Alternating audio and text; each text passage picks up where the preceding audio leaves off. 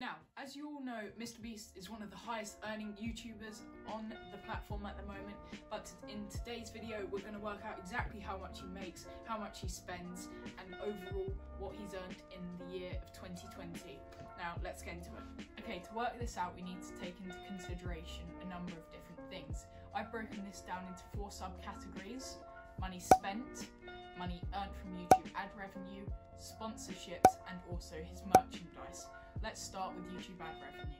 Now, Mr. Beast is one of the fastest growing YouTubers, and this has meant he's gained and racked up numbers of views and subscribers.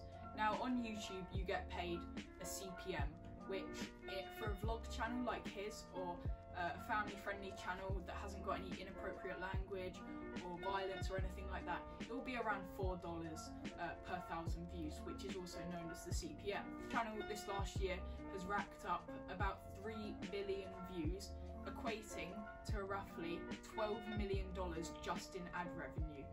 Now, as many of you may know, uh, Honey is the main sponsor for Mr. Beast. They've sponsored over 20 videos this year, and I believe they've had a contract with him. They're not paying him per video.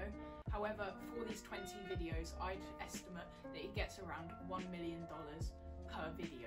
This is completely viable considering he's getting around 40 million views per video, so it would make sense for about a million uh, dollars for one video. It will take so many more customers uh, back to the Honey website. So overall for these 20 videos, I'm going to estimate that he got around $20 million this year just for the Honey sponsors.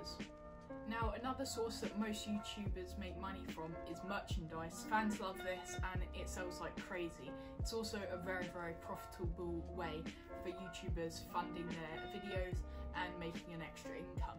Now, it's impossible to really say how many um, shirts or hoodies whatever Mr. Beast has in his store has actually sold and how much money he's actually made. However, we do know that Logan Paul, as he said on his Instagram story, he, he used to make around $1 million per day selling his merchandise. And I believe Mr. Beast has outdone him easily, and I reckon Mr. Beast does this on a daily, daily basis.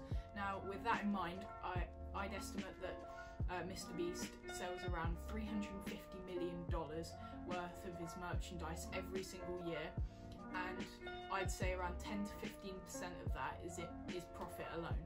Uh, this would mean that he would make around $52.5 million from his merchandise alone every year.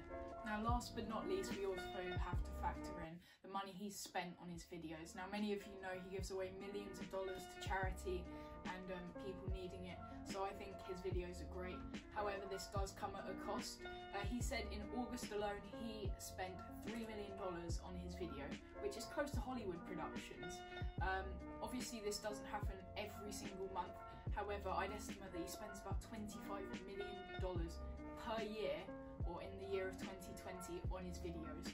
Overall, taking that into consideration with all those numbers, I'd estimate that he makes around $59.5 million per year. So that's an incredible number. If you want me to do videos like this more, do it on other YouTubers you might be fans of, um, you might want to know how much they earn because I know a lot of them don't uh, give away this kind of information. Obviously, I won't be 100% accurate, but I can I can be quite accurate.